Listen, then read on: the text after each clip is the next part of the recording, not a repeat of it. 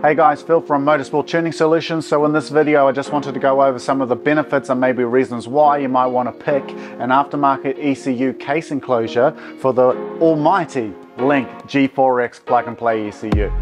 Okay, the first benefit of a plug and play ECU is literally that, a plug and play ECU. So what I have here is an R32 GTR wiring harness and I've got a Motorsport Tuning Solutions case with a Link G4X uh, plug and play ECU for a GTR or Skylines, anything to do with RB. And then you get this beautiful scenario where there's no patch harnesses, no uh, extended harnesses or anything like that. Literally plug and play. Mm -mm -mm. Beautiful.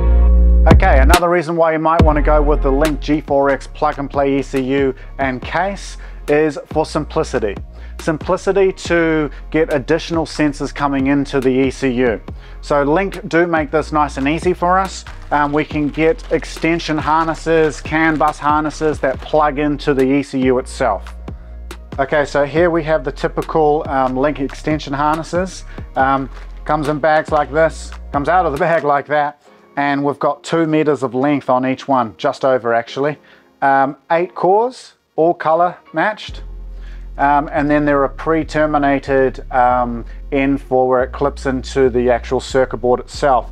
So that's nice and handy. Like I said, um, all of them have two harnesses that you can attach onto the board. Some of them have three. So three times eight cores, that's a lot of inputs and outputs. Um, next over here is the CAN bus network cable coming out. Once again, it plugs into the um, circuit board. Some circuit boards uh, or some ECUs will have, because this is a CAN high and CAN low, will have uh, positive um, 12 volts and ground also in there as well, getting it from the ECU, which is handier, um, but not all of them do.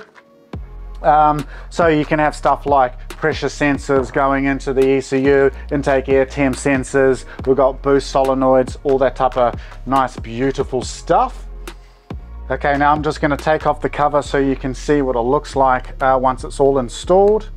Um, all of these uh, ECU cases are designed with brass um, inserts for all your threads. So that's for the circuit board and for this top cover. Uh, one thing to note if you didn't know, uh, don't touch the circuit board with your hands unless you've got an earth strap on because you can with a static fry your circuit board. It has happened, um, not to me, but it, it does happen to some people, so just be aware of that. Anyway, this is your typical sort of setup. So um, if, hopefully you can see with the camera, but this particular model, this JZX90, it has three extension harnesses that we can have which is really handy. Um, you've got one of the extension harnesses here, another one on here. On the board itself, it will tell you what they're allocated to on the ECU, whether it be like a AN volt or a digital input or a um, auxiliary or whatever it might be. Then this one, this cable here is your tuning cable, so, so you can um, upload tuning files and all that type of stuff. And then there's two CAN networks um, they come through here. So here at Motorsport Tuning Solutions, when we do our installs, um, we sit it all in really, really nicely. No tension on the plug itself. Um, and then put cable ties on either side of the um, uh, of the cables going through the um, the casing here, just so they can't be pulled and pulled back and stuff like that. So there's no tension. Um, and then you've got your seven bar map sensor, which comes through here comes through there and then like I said before it's got a um, removable um, I guess nipple you want to call that.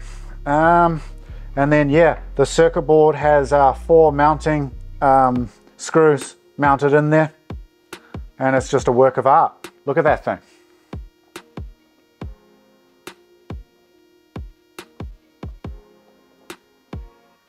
Yummy yummy.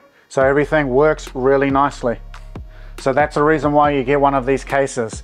It's new, it's clean, all the cutouts are done, it's been thought of. Um, it's pretty easy really, super affordable.